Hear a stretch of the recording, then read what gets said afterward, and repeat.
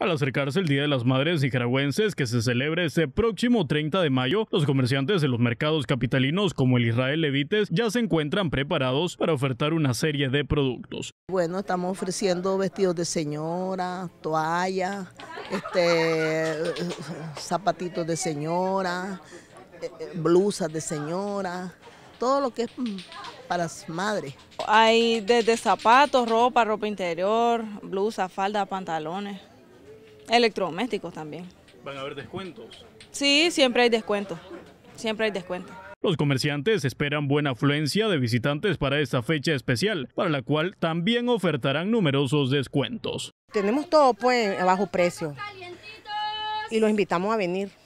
Aquí le vamos a hacer un descuento bastante grande a todos los hijos.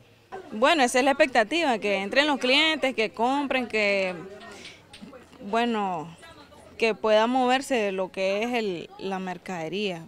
Los artículos para regalar a las madres ese 30 de mayo estarán en todo el país en, en, promociones especiales y los comerciantes también invitan a la población a visitarlos. Con imágenes de Harry López, Juan Amador, Noticiero 6.